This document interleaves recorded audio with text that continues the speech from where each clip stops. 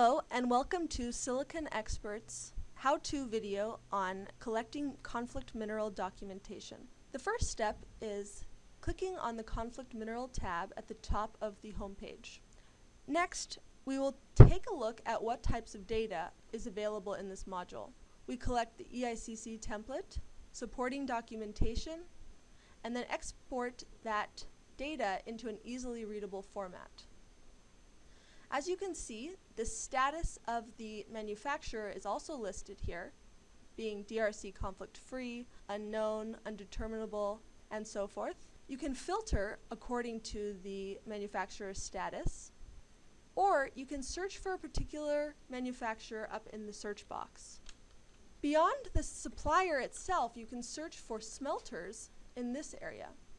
Please enjoy the rest of our videos and know that you can also gather this data inside of our part search and BOM manager.